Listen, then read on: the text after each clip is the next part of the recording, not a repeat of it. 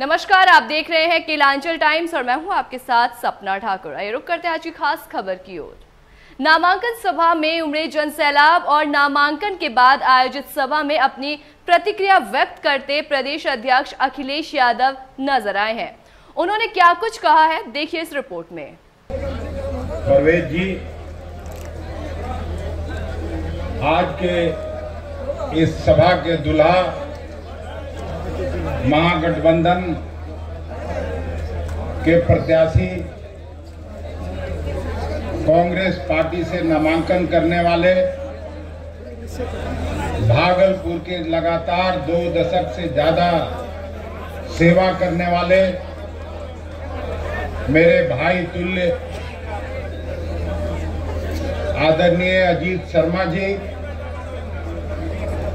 मंच पर उपस्थित अभी अभी अपना भाषण समाप्त करके बैठे कांग्रेस लेजिस्लेचर पार्टी के नेता, आदरणीय शकील खान साहब, नाथनगर के सम्मानित विधायक अली अशरफ साहब,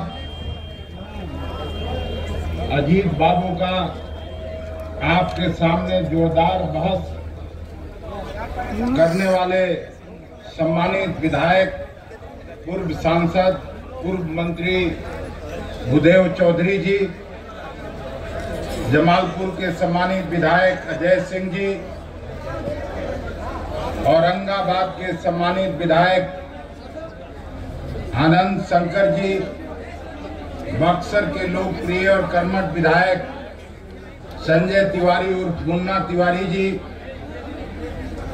कांग्रेस पार्टी की सम्मानित विधायिका प्रतिमा दास जी, आदरणीय बुन्नू चौधरी जी, विपिन यादव जी,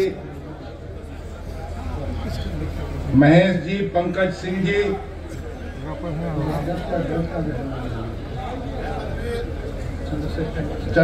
राष्ट्रीय जनता दल के और इस सभा का संचालन करने वाले अध्यक्षता आपसे आप अध्यक्षता करना है। सबसे गलत, पहले उस समय क्यों नहीं टोके?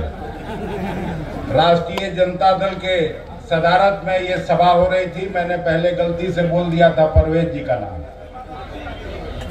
चंद्रशेखर जी और इस मंच पर जितेंद्र सिंह जी,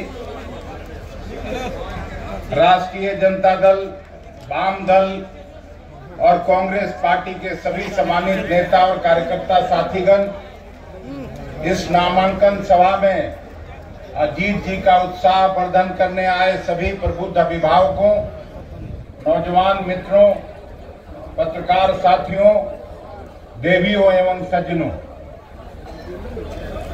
मैं जब आया था तो कोई लाल कुर्सी खाली नहीं थी। पूरा कुर्सी भरा हुआ था और आसपास लोग सब खड़े थे अजीत शर्मा जी को आशीर्वाद देने के लिए, दुआ देने के लिए। लेकिन मैं समझ सकता हूँ कि 10 बजे से लोग आए थे, लोगों को भूख लगी होगी और खाने के लिए चले गए होंगे। भागलपुर में जो डिलिमिटेशन हुआ, डिलिमिटेशन के बाद बीरपुर और गोपालपुर का इलाका जुड़ा। उसके बाद सभी चीज़ें बदल गई। और मुझे अच्छी तरह से याद है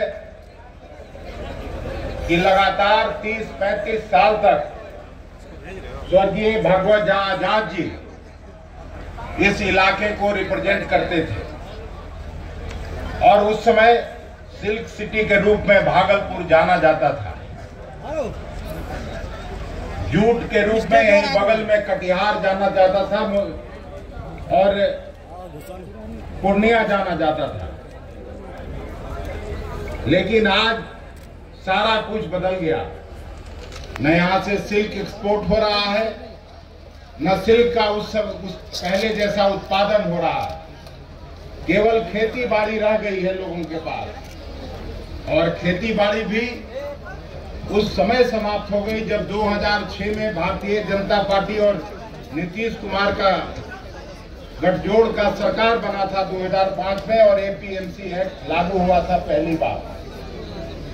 एपीएमसी एक्ट लागू होने के बाद बिहार के किसानों की आमदनी भी समाप्त हो गई। खेत खलिहान में काम करने वाले लोगों को, चाहे मजदूर हो या किसान हो, सबकी आमदनी घट गई। आज जमुई में प्रधानमंत्री जी आए थे, ज़रूर लोगों के मन में ये सवाल होता होगा कि पहली बार जब आए थे तो उन्होंने वायदा किया था कि 2022 में हम किसानों की आमदनी को दुगना करेंगे। लेकिन किसानों की आमदनी तो दुगना नहीं हुआ। लागत खर्च ज़रूर किसानों का दुगना के बजाय चौगुना हो गया। और इसलिए खेत खलिहान में काम करने वाले लोग इस सरकार से निराश हैं। सबसे बड़ी समस्या इस सरकार में जो मैं देखा हूँ, मैं एक दशक से ज़्यादा मेरा इस देश के पार्लियामेंट में काम करते हुए हो गया। और ये जब मेरा कार्यकाल समाप्त होगा, हो जब होगा तो सत्रह साल मेरा पार्लियामेंट में काम करने का अनुभव हो जाएगा।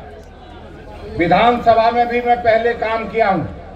लेकिन ऐसी सरकार मैं कभी देश में देखा नहीं। जिसमें महँगाई चरम पर हो, गाँव में और घर में काम करने वाली माँ बहनों से पूछा जाए, उनकी क्या हालत है? गरीबों के थाल से दाल और सब्ज़ी गायब है। फिर भी आज महँगाई की बात ये